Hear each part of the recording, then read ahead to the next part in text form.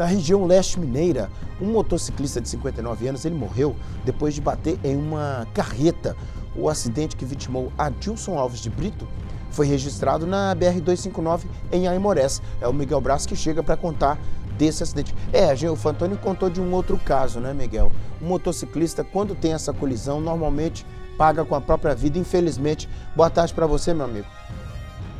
Oi, Nico. Boa tarde para você, boa tarde a todos. Este acidente foi tão grave que partes do corpo da vítima ficaram espalhadas, viu?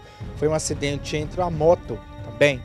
Este acidente foi no último fim de semana e a polícia militar rodoviária contou que quando chegou ao local, o motorista da carreta estava a 200 metros da área do acidente. Ele contou ainda para a polícia que saiu da cidade de Serra, no Espírito Santo, sentido a Resplendor, aqui no Vale do Rio Doce. Em depoimento, ele disse que jogou o veículo mais para a direita da pista porque outros dois veículos sinalizaram para fazer a ultrapassagem. Depois deste procedimento, o motorista voltou para a pista, mas acabou sendo surpreendido pelo motociclista. A batida foi inevitável. A moto de Adilson parou a pelo menos 7 metros do corpo.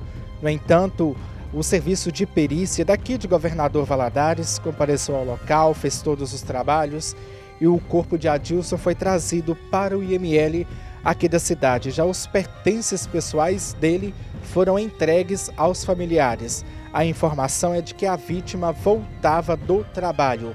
No entanto, as circunstâncias que causaram esta tragédia, este acidente na BR-259, serão apuradas pelas autoridades. Nico. Obrigado, Miguel. Depois você volta aqui, deixa a imagem aí, Bebiano. Depois o Miguel volta aqui com a gente. É, aí nós estamos falando de um caso diferente agora, né? É o caso de um trabalhador que está voltando de uma rotina de trabalho. Aí não se sabe, né, se se dormiu, né, se teve um mal súbito. Aí é, são, são perguntas que a perícia é quem faz, né, gente? A gente fica aqui diante da imagem, né, circunstância completamente catastrófica, né? A gente, a família depois fica até chateada com a gente. A gente pede desculpas, nós não estamos assim é, aproveitando do acidente para alguma situação diferente. É que a gente lamenta, né? Lamenta é, e fica imaginando aqui o que possa ter acontecido, né? A pessoa voltando do trabalho, bate contra uma carreta, não sobra nada, né? Não sobra nada, né? É, bastante acidente nesse né, fim de semana.